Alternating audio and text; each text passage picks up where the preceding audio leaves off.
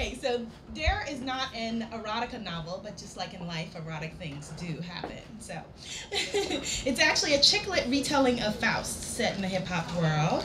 And this scene is um, the main character, Maya. Um, there are many ways to describe the plot of the story, but basically, you know, she's a good girl who kind of has to go bad to figure some things in her life out.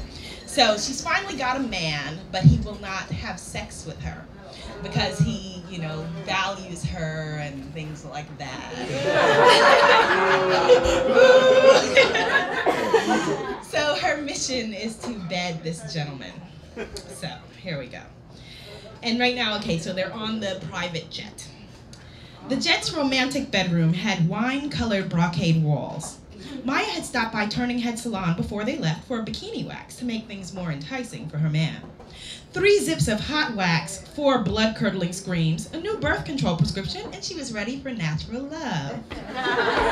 Miles high in the sky, Maya lay on the circular bed, swaddled in the burgundy velvet covers that matched her lace baby doll and sexy boy shorts. If this wasn't a hint, she didn't know what was. Maya reached over to the side table and took a swig directly from the bottle of Klug Krug Clos du Mesnil champagne, right before Thug came out of the bathroom and got in bed. He was wearing old gym shorts and a scruffy tee. but he was still flawless. A man couldn't be more enticing. Damn. Thug nuzzled his, ne- his face in Maya's neck. Somebody smells good. Ylang, ylang, she said, arching her back to make her neck and other areas easier to access.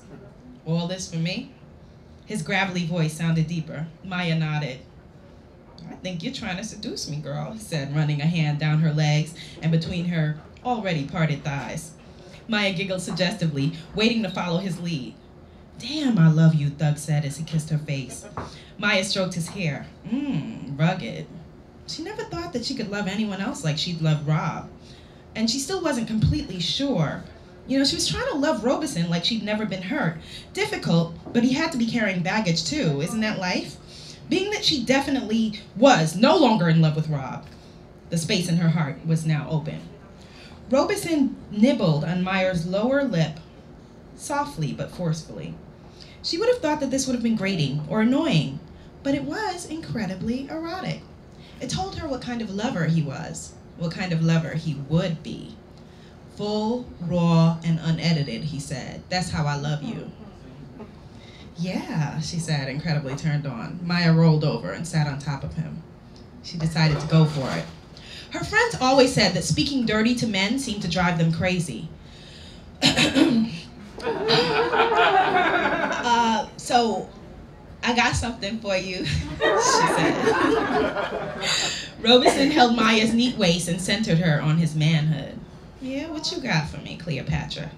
He slid his hands down, good, and started molding her butt. Better.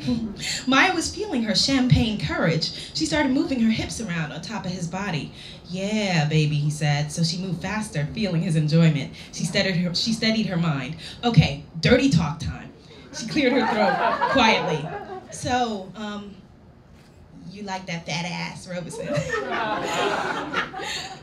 what? I I said, you you like that big fat juicy ass?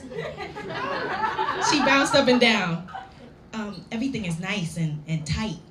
Nice and tight and ready for you. Big fat juicy ass.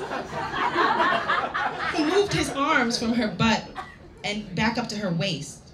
Um, why are you talking like that? Uh-oh, she felt him softening.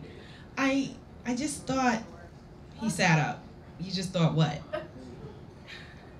That you'd act like a whore? Well, I figured it was okay if I was your whore. Maya searched his face for meaning. Was he angry? He put his arms around Maya and regained his composure. It's okay, but come on, baby. I don't want to dirty you up like that. You're a goddess, a queen. I just want to kneel at your shrine. Maya nodded. Was it too much to want him to enter the shrine for worship? Robeson leaned in and kissed Maya straight through to her soul. Their tongues encircled each other and locked. His lips felt so good. Even our kisses are poetry, he said, caressing her breasts through the lace. He was driving her to the brink of insanity. Y'all sisters say y'all want to be respected. Man try to respect your ass and he gets shot down. He laughed. She grabbed his hair in two handfuls. Ow, he said, and they laughed together. They pulled the covers up over their heads and talked like kids do until they fell asleep. They were awakened by the pilot announcing that they were flying over Virginia. Okay, so now a little bit later, she decides to try again. Maya decided that tonight she was going to finally get her man mind, soul, and body. Enough was enough. Was it wrong to want a little kinesthetic healing? She understood that he was abstaining out of respect. Yeah, yeah, yeah. But with all due respect, she was overdue. Her self-control was nil, and although she had been and and she had been looking at the crew boys more and more, although they never would have been her flow before. Not to mention one jerk of an ex who shall remain nameless. The rest of the flight was all about Maya Robeson and the art of seduction. Since her thug liked to lead, she would let him do so, laying, tra- laying traps of a woman's good graces to snare her man. She would present her entire being as an invitation.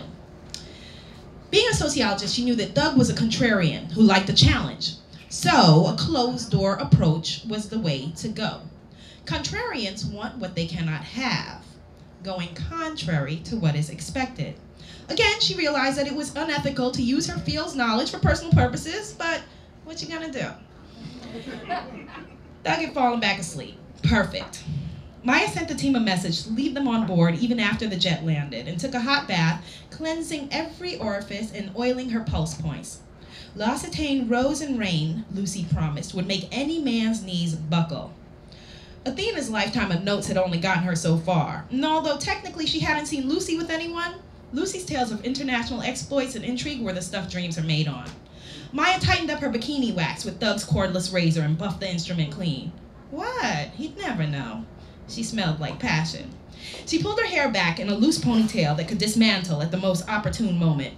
She was excited knowing what was in store, seducing herself as much as she planned to seduce, to induce lovemaking from her man. She put Vaseline on her lips and powder over the dark circles under her eyes. She wanted it to be a long night, so she hid three condoms, three, between the pillows.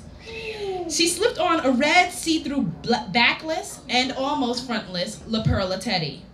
She wasn't quite sure what distinguished a bodysuit from a teddy, but this was most definitely a teddy. Maya replaced the room's light bulb with a red one. The better to see you with, my dear. She wrote seven words on slips of notebook paper and trailed them around the bed. Tactical procedure, know your target.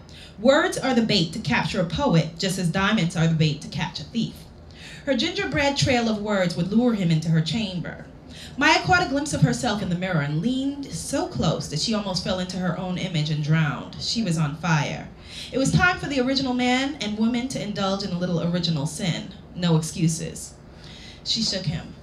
Hey, babe, um, somebody left you a note. What? Thug looked at the floor, back at Maya, who was wearing her most angelic expression as she walked back into the bathroom. What you up to, Cleopatra? Thug made his way around the bed, reading the words out loud. The heaven you give is a pyramid? He got it. Thug is a pyramid, huh? Solid, ingenious, and everlasting, Maya called out. What happened to the light? Maya re-entered and sashayed across the room as if she were looking for something that wasn't quite there. Oh, the bulb blew, and this was all I could find, a red bulb. It's relaxing, right? she wove her hips like a serpent winding between the tree of its choice. The apple she offered was herself. Just the sound of his voice drove her crazy. Her body had never had this kind of physical reaction to any man. Thug seemed to lose his words, so he repeated hers. Solid, ingenious, and everlasting. Uh-huh.